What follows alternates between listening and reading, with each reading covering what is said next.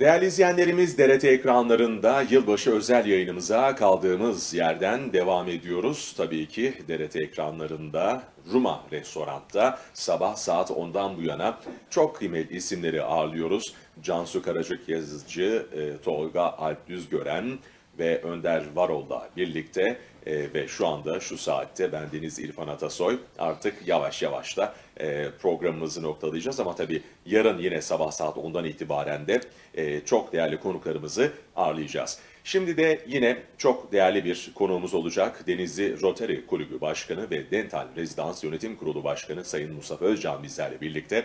Evet Sayın Özcan yayınımıza hoş geldiniz, sefalar getirdiniz. Hoş bulduk İrfan Bey. Evet, e, 2023 yılı sizler için kendi cephenizden nasıl geçti, e, nasıl gördünüz, e, 2024 yılına dair de e, beklentileriniz, dilekleri, temennileriniz nelerdir bunları merak ediyoruz. Tabii ki.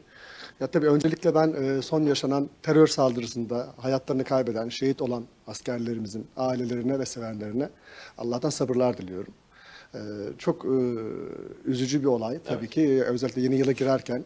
E, Ama e, sonuçta biz e, Türk halkı, Türk millet olarak e, bunların üstesinden e, gelebiliriz. E, Yeter ki inanalım, el ele verelim diyorum. Maalesef 2023 başlangıçta da ülkemiz için çok iyi gelmedi. Yaşadığımız büyük deprem felaketi Maalesef. hepimizi çok derinden sarstı. Özellikle o bölgede yaşayan, o bölgede akrabası olanlar eminim bizden çok daha fazla etkilendiler ama ve henüz e, belki yaraları çok sarılamadı hala. Hala belki ciddi anlamda desteğe e, hem maddi hem manevi desteğe ihtiyacı olan çok fazla insan var. Ama dediğim gibi az önce söylediğim gibi bizim e, ülke olarak, e, millet olarak, devlet olarak aslında bu zorluklara çok da yabancı değiliz ve bunların altından bir şekilde kalkabiliyoruz. Ee, Kalkmayı da başarabiliyoruz. Ki bundan 100 yıl önce de sonuçta Cumhuriyetimiz kurulduğunda da ülkemiz ve halkımız çok iyi durumda değildi. Çok daha zor durumdaydı.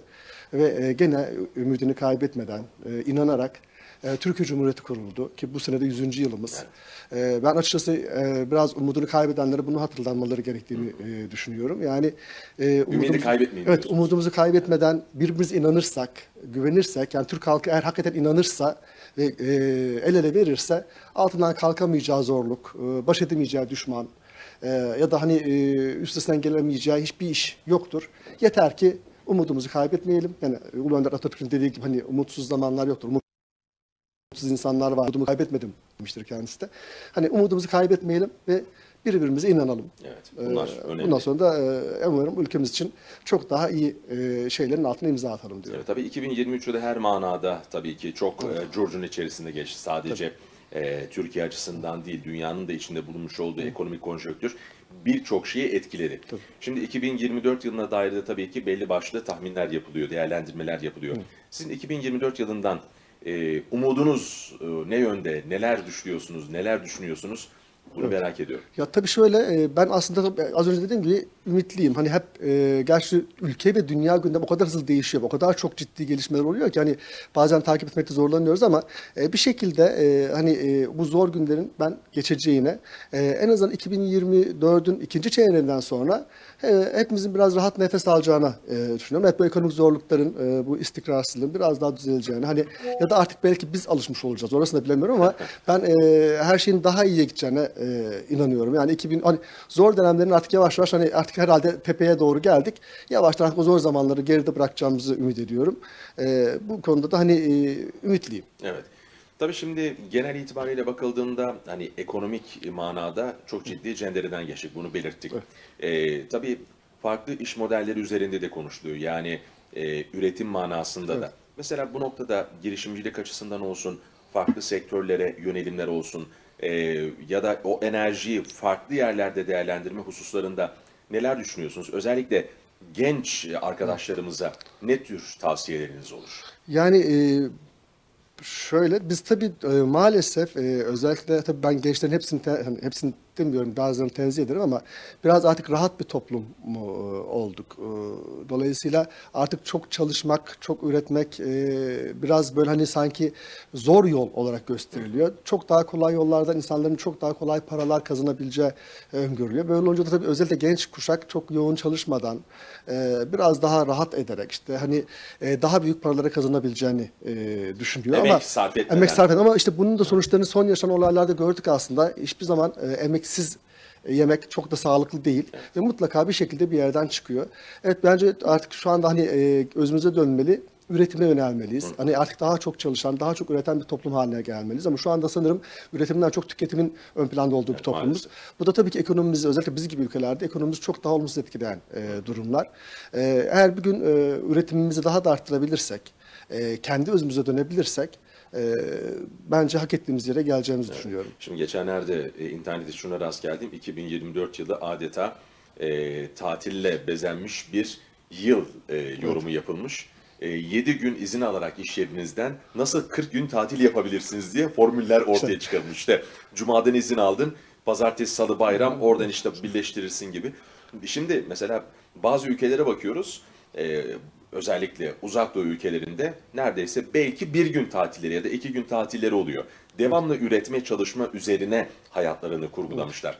Biz biraz herhalde e, az evvel de ifade ettiğiniz gibi e, işte e, bedava yemek ama bir taraftan onun emeğini de alalım. Bir, ta- bir taraftan evet e, bedava peynir de fare kapanında bulunuyor. E, gençlerin biraz bu noktalarda e, konfora çok alışmaması lazım değil mi? Bu önemli bir faktör. Tabii ki ya bize zaten yönlen özellikle gençlere özlendiren ya da e, dayatılan hayat böyle bir hayat maalesef. Hani bunda işte sosyal medyanın işte belki hani ben hani şey artık biraz yaşlı yerine gelen herhalde biraz eskiden hep e, bizden büyükleri derdik. Hep bunlar eleştiriyorlar derdik ama şimdi öyle oldu. Hani işte izlediğimiz dizilerde, televizyon programları artık bunu bu kadar çok özendiriyor ki. Yani hani dolayısıyla gençler de hayatın böyle olduğunu düşünüyorlar. Oysa hani özellikle o şu andaki gençlerin e, anne babaları bizim yaşlılarımız ya da işte bizim büyüklerimiz e, ne kadar zor yollardan geçerek ya da ne kadar çok çalışarak şu anda bulundukları yere geldiler ama şu andaki gençler bunun çok kolay olduğunu, zaten hani çok çalışmaya gerek olmadığını, işte e, para zaten çok kolay bulunan bir şey olduğunu düşünüyorlar. Ama maalesef hayat böyle değil. Ama dediğim gibi biraz işte e, şu andaki e, sosyal medya ya da işte basının ya da işte yapılan e, yayınların da bu şeyin etkisi var. E, dediğim gibi bunlar hani e, onlar da bir süre sonra e, hayatın böyle olmadığını farkına varacaklar ve e, bence üretime katkı sağlamaya başlayacaklardır O diye zaman gençlerimizin Allah yardımcısı olsun Evet. diyelim. Ailenin de.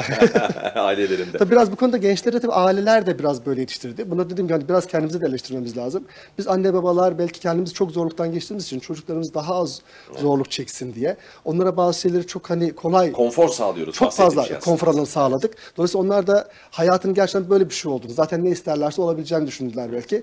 Belki onlarla yüzleşmeye başladıklarında kendilerine gelip e, çeki düzen vererek hani yapmaları gereken ya da olmaları gereken konumları Evet, seçecekler. aslında belki onlara karşı bazı mahrumiyet e, bırakmak aslında birçok kazancı da onları beraberinde getirecek bir kesinlikle. manada. Kesinlikle. Öyle de diyebiliriz özetin diyorsunuz. özeti.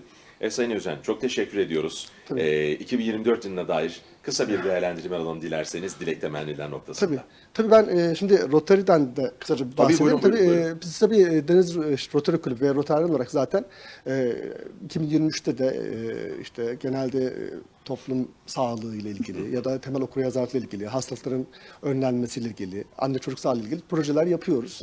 E, ve bunları e, 2024'te de yapmaya devam edeceğiz. Özellikle e, bizim Denizli'de uyguladığımız bir e, HPV rahim ağzı e, kanseri e, aşılama projemiz var. E, bu şekilde farkındalık oluşturarak e, çocukları erken yaşta aşılanmasını sağlayarak ömür boyu koruyuculuk sağlıyor ve rahim ağzı kanserinin oluşmasını temelden engelliyoruz. Bu projemiz zaten devam edecek. E, dünyada da e, Rotary kulüpleri zaten bu tarzda bir çalışmalar yapmakta. E, ben 2024'ten de açıkçası e, ne bekliyorum? İlk önce herkesin ümidini kaybetmemesini bekliyorum. E, onun dışında e, herkes hani tüm insanlık için ve ülkemiz için umarım e, daha adaletli e, bir yıl olur. E, açlığın ve sefaletin konuşulmadığı bir yıl olur diye düşünüyorum. Herkesin eşit eğitim haklarına sahip olduğu bir yıl olur diye düşünüyorum. Ve hepimizin umutla ülkesi için ve vatan için çalıştığı, ürettiği bir yıl olur diye düşünüyorum. Evet çok teşekkür ediyoruz Sayın Özcan yayınımıza katıldığınız için. Ben de E, çok sizlere teşekkür de ederim. iyi seneler diliyoruz. Sağlık, sıhhat, afiyet ediyoruz. Mutlu ve umutlu yıllar Mutlu ve diliyorum. mutlu yıllar olsun. Çok sağ olun. Çok teşekkür teşekkürler. ederim. Çok sağ. Teşekkürler. Teşekkürler. Evet e, değerli izleyenlerimiz e, kıymetli bir ismi Mustafa Özcan'ı ağırladık. E, Denizli Rotary Kulübü Başkanı ve Dental Rezidans Yönetim Kurulu Başkanı Sayın Mustafa Özcan'la hem 2023 yılına dair bir değerlendirme hem de 2024 yılına dair beklentilerini almaya çalıştık. E, bizler sabah saat 10'dan bu yana sürdürmüş olduğunuz bu yayın maratonunu e, şimdilik noktalıyoruz tabii ki sabahtan bu yana. E, ekranlarınız e, başında e, Cansu Karacık yazıcı, bununla birlikte Tolga Alp Düzgören, e, kıymetli Önder Varol ve bendeniz İrfan Atasoy. E, bununla birlikte tabii ki e, bize e, kamera arkasında e, desteklerini e, esirgemeyen çok kıymetli e, ekip arkadaşlarımıza çok teşekkür ediyoruz. E, sürçülisan ettiysek de affola diyoruz. E, tekrar hatırlatalım. Yarın sabah saat 10'dan itibaren yine bizler Ruma restoranda olacağız DRT ekibi olarak ve yılbaşı özel yayınımızı sabah saat 10'dan akşam saat 18'e kadar sürdüreceğiz ve çok kıymetli isimleri de e, burada ağırlamaya çalışacağız. Sizlere güzel bir akşam diliyoruz ve tekrar ve tekrar iyi seneler dileyelim şimdiden. Hoşçakalınız.